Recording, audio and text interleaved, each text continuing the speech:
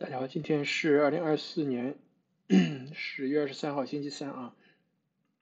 呃，今天我看到一篇文章，这篇文章应该，嗯，不能说算是新闻吧，但是呢，我觉得这篇文章也是很好的。我曾经，呃，很多次都在都在考虑这些事情吧，都在一直想聊这个东西啊。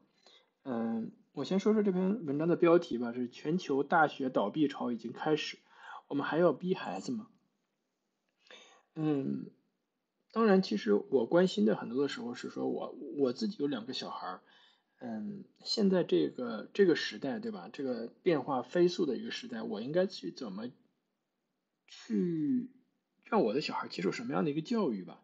这个很多的时候是我要想的很多的事情，呃，特别是嗯。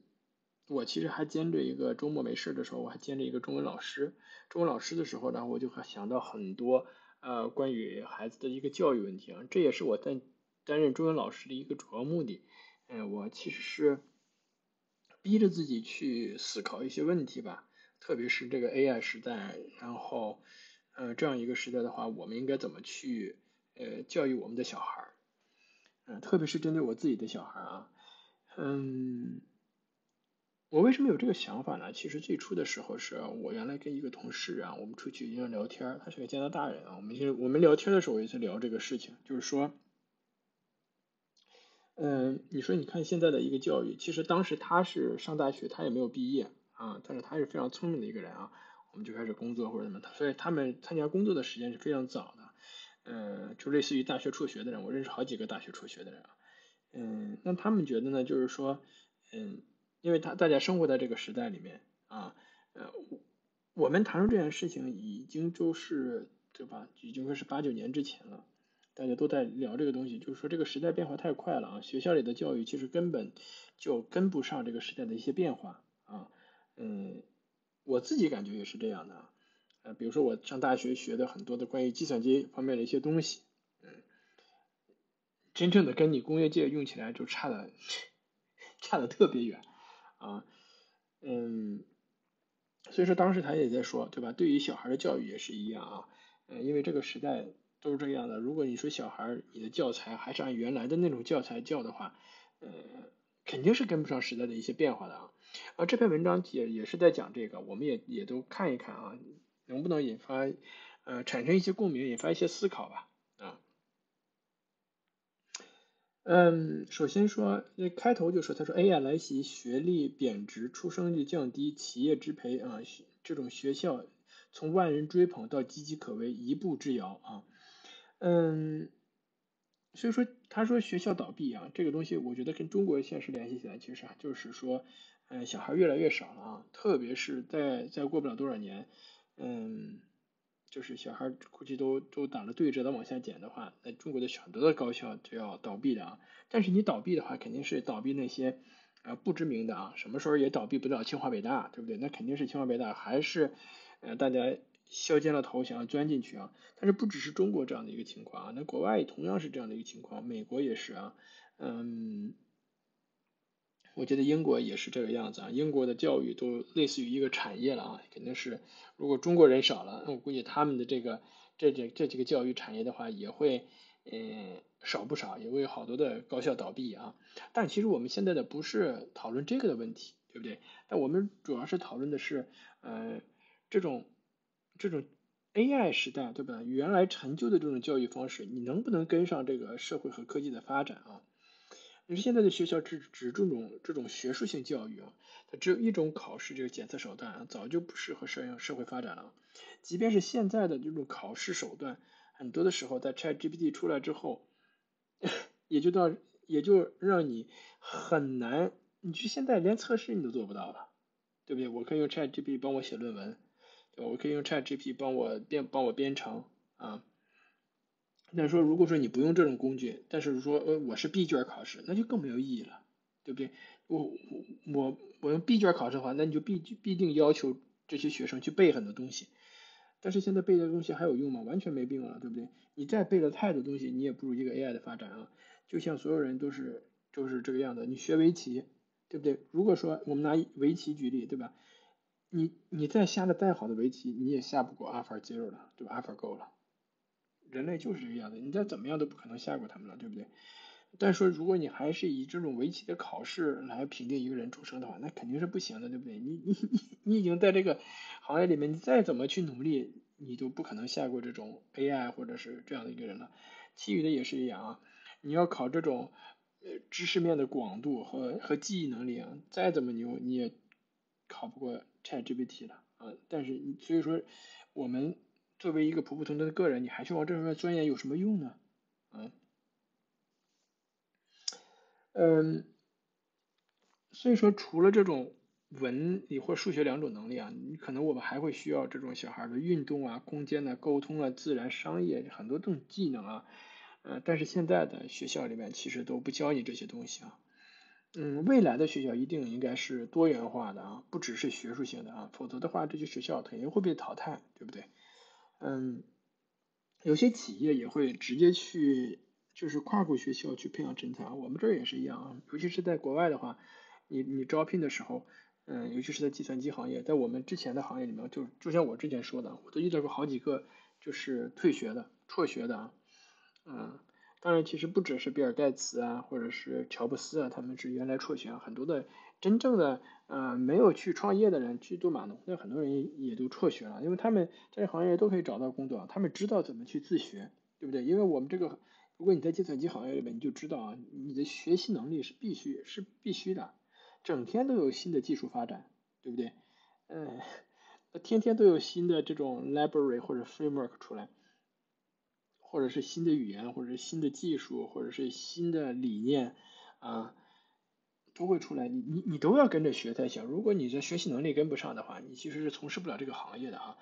嗯，所以说那种陈腐的这种教育的话，其实就是完全就是不适合这个行业的发展啊。所以说为什么是说，呃，这种 AI 到来之后，呃，我一直不觉，我一直一点儿都不担心说这种 AI 能够取代程序员呐，能够让很多的码农失业啊，我从来不担心这个事情，因为这帮人学习能力太强了，啊，能能真正的让他们失业，他们可以在。这个 AI 的基础之上，就做更多的工作和更多新颖的工作去做啊，嗯，所以说我一点都不担心这个事情，嗯，呃，我觉得那些如果是你在传统行业里面，如果说你就靠吃老本的话，我觉得这个才是你们需要担心的一些东西，对不对？你需要担心你你能不能这个适应这个社会，然后多元的去学习很多的东西啊，而不是说靠你原来的那那那积累的一些知识。有些人对吧？医生、理发师，对不对？有些人在，我我我再说一下 AI 的这些东西啊。一会儿我可能再聊一篇文章，说，哎，什么样的人可能被 AI 取代，对不对？可能你可能超出你很多界限现实的，呃呃那个认知的啊，有可能被被取代。有可能第一是理发师，有可能没个不过多久啊，这种 AI 这种机器手臂就可以给人理发了啊，它就可以。三维的给你建一个模型，根据你的脸型，给你所有的你的东西，去给你理一个发出来，咔哧咔哧给你理好了。啊，你说我在他理发的时候会不会剪着我的耳朵或者什么的？你不用担心啊。其实现在很多的机械手臂或者是 AI 这个东西已经可以做心脏手术了，比你心脏手术还比较比你真正的人做要安全好几倍啊。嗯，并且已经开始在一个什么，哎。我记得应该没错的话，应该是在沙特一个实验室，医学实验室已经开始就开始做这个东西了。所以说，有时候你要担心医生失业的话，你能不能 有什么其他的学习能力，对吧？医生的话，我们都知道他是靠一直积累这个这个这个经验的啊。你能不能，如果说有一天就是 AI 把你的医生取代了？这些医生，你要想想你自己能干什么。你比如说，如果说任何一个什么 AI 把一个码农取代了啊，因为这些码农对吧，他的可能做做软件的对吧，他可能做个金融软件，这个做个航运软件，有可能还做过游戏软件，有可能就是他到哪个行业里面，他他都可以啊，并且他有很强的一个学习能力啊，他不干这个了，他可以干别的啊。但是如果是其他的行业里面对吧，你靠着你原来靠这种呃持续不断积累这样的一个东西，突然间你失业的话。你会非常非常的麻烦啊！我们就就就说这么多，谈到这说这么多啊。说人工智能要重塑教育啊，这个东西我们都知道，人工智能出来后，它对教育应该是颠覆性的。但是只不过现在人工智能刚刚出来，我们只不过还摸不着一个头脑，应该什么样的一个人工智能，呃，才是嗯那个能够真正就是辅助我们学习啊。他说变化更多、更快、更猛，没有任何一种知识可以使用两年以上啊，也没有任何一个工业可以安稳五年以上。真的就是 AI 时代啊，就是人工人工智能将在二十十到二十年之内，让美国总计七百二七百零二种职业中的一半将彻底消失啊。所以说，人工智能时代，个人能力呃个人的创造力可以被机械放大千万倍啊。未来个人指挥机器的能力决定了一个财富的重新分配，确实这个样的。我们就处在一个社会的。起点的一个就在一个起点上啊，嗯，真正的原来马克思设想的一个这种社会极大的财富，什么什么什么，嗯，物质财富的极大丰富啊，就是现在啊，以后过不了多久就是物质财富的极大丰富啊，嗯，所以说能够被替代的行业工作能力都不都不再是学校里浪费学呃。都不在学校里在浪费学生老师的时间啊，所以说而永远都不会被机器取代的才是我们应该让孩子们去学习的。嗯，现在我们其实也不知道你孩子应该去学什么什么东西啊，没有一个真正的一个学科，对吧？具体的一些东西，但是我们其实模糊的知道啊，呃，如果你学习跟人的身体和精神相关的一些东西，未来更有前途。比如说，嗯，生物。他说的医学啊，我觉得非常的，我也不太看好这个健康饮食、幸福、精神学、运动学、哲学、艺术啊，将会需求越来越大啊。也就是说，你面对像那去学那些虚头巴脑的才有可能啊。嗯，所以说现在如果你让学校需要小孩再去刷那些题啊，像中国那种呃这种从小学就开始卷起来，我是觉得从我自己觉得是完全没有意义的啊。所以说，在未来，我们只需要让孩子啊成为人，让他们有自己的学习方式，这才是最重要的啊。嗯，他们要有自己的价值、热爱，有有自己热爱的工作，他们就可以过好一生，对吧？我不觉得以后所有的小孩他能够对生存还会有什么嗯担心的啊，都不会。他只是说能够能够把自己一生过好，他有没有自己怎么自己的。学会去学习才是最重要的，因为你现在我们能掌握的这种工具太多了，能让你学习的东西太多了，对吧？我们小的，我自己小的时候，我想学个英语多费劲，对不对？你根本没有没有机会听，对吧？你得用那种磁带的方式，对吧？买一盘磁带来来回回听。你你现在呢？小孩别说学英语了，你学什么什么语言，你你你找不到任何资料，对不对？在互联网上什么资料都有，但是还还是取决于你想不想学这个事情，对不对？嗯，所以说学习能力啊是必不可少的，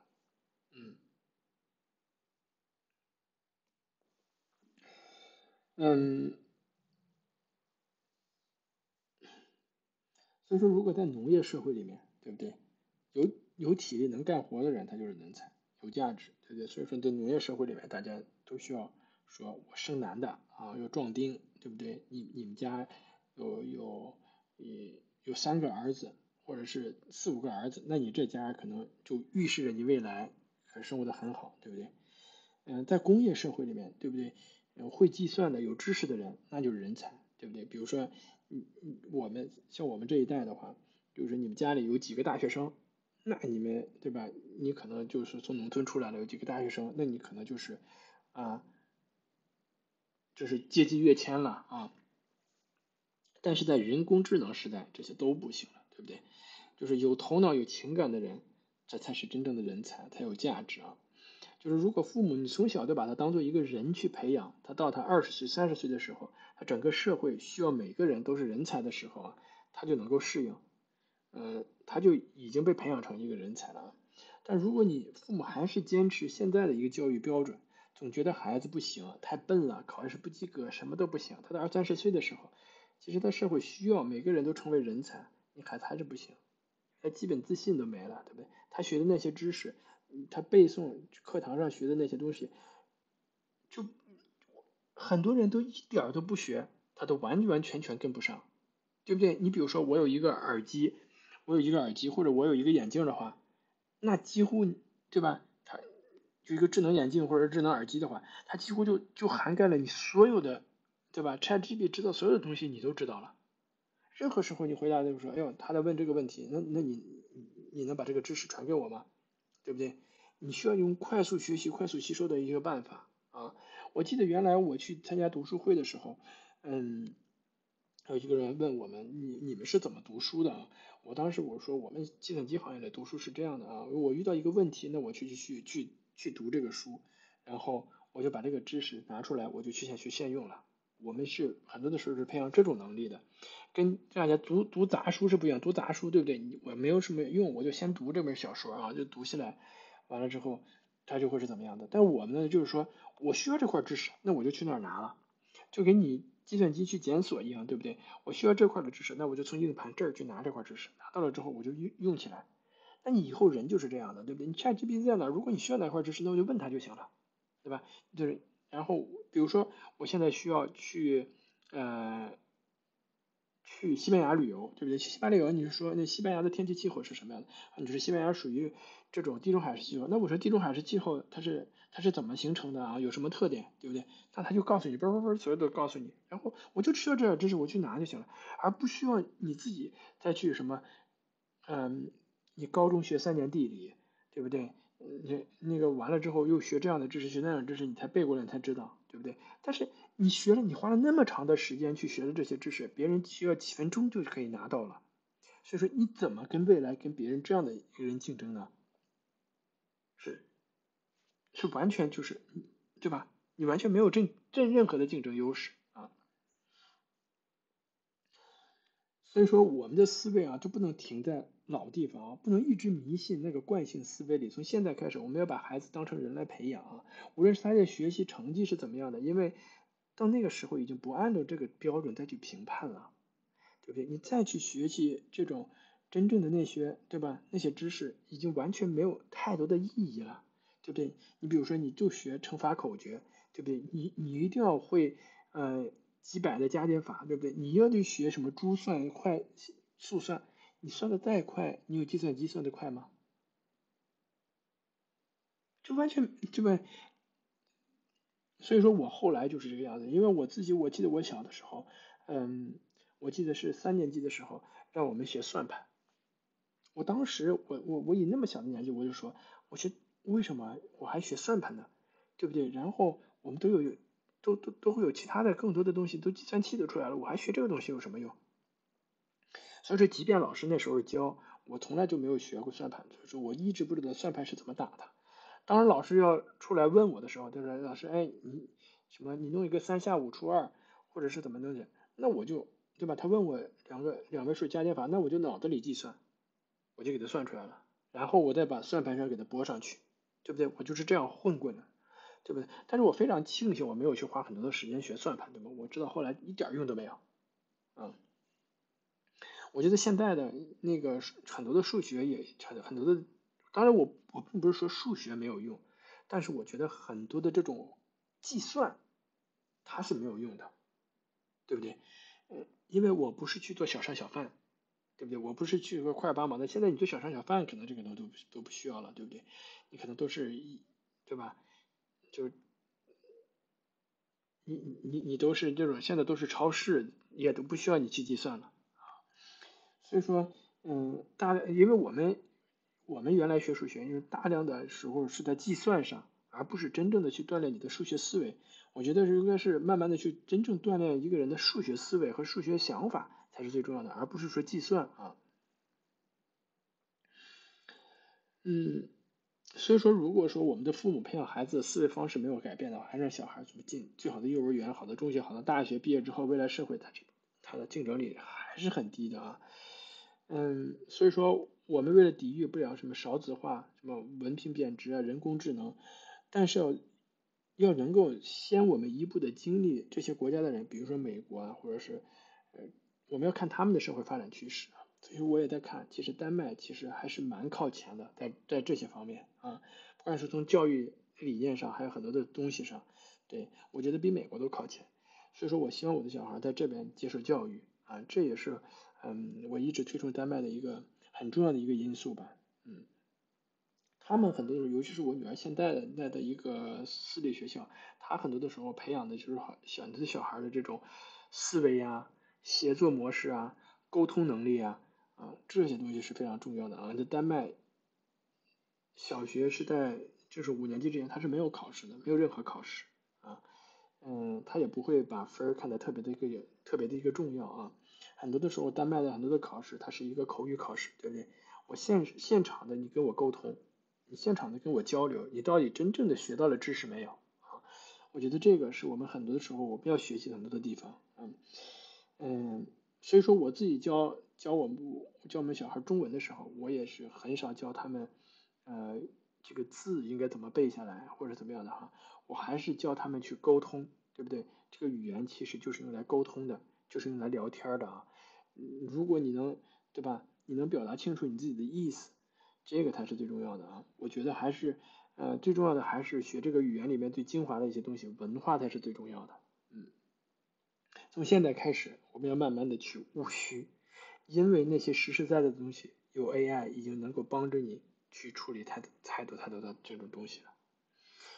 好吧，我觉得这个话题也是非常大的，我还是我也自己还是在一直在思考啊，我也非常庆幸有很多的呃这样的一些作者或者这些人也在去写这样的一些文章，大家也在讨论探讨这样的一个话题啊，嗯嗯，我希望以后会看这个东西看得越来越深，对不对？越来越适合这种，因为现在我们都很难看到，那么未来五年这种 AI 发生什么什么状况啊，其实我们都是判断不了的，因为这个世界变化的太快了啊。